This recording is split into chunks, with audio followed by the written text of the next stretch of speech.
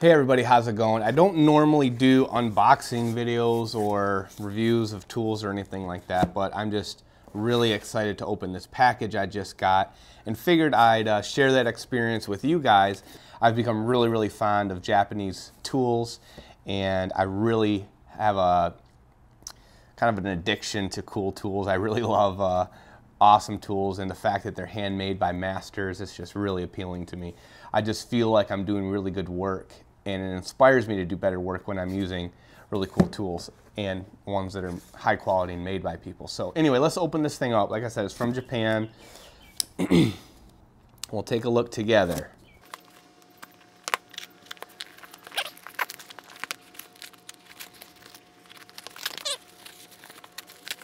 Look at that. Wrapped beautifully. That's really cool. It's like Christmas.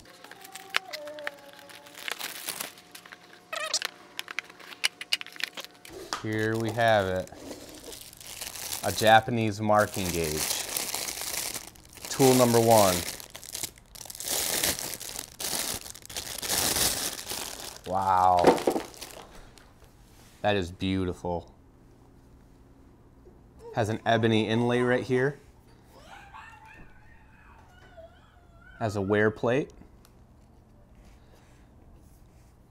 Has two blades that you can lay out your mortises or grooves. And you can kind of lock it down right here but then change the level of it. And these are really really nice blades that will cut a knife wall rather than scratch a groove into it. So I'm really excited about using this. That is beautiful.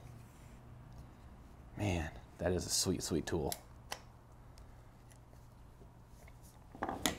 All right, the other tool is part of a tool that I have to finish.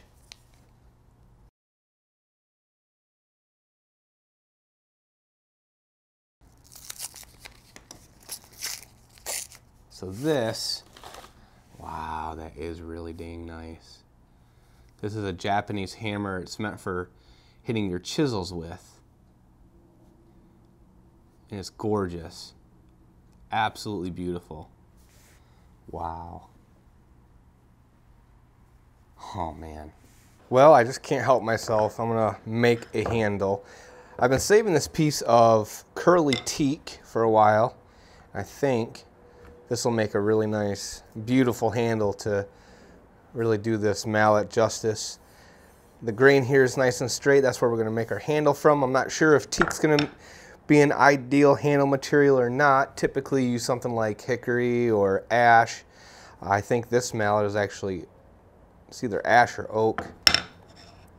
Oak's typically not used too often, but this isn't like a typical hammer, like a framing hammer or a hatchet. Um, it's really, you don't abuse the chisels that you're hitting. You use these types of mallets to hit your chisels, and so you're really not pounding away on them. So we'll give her a shot. And I'm going to use the new marking gauge to lay out my cuts here. Go ahead and make it that wide. We're going to cut it that long.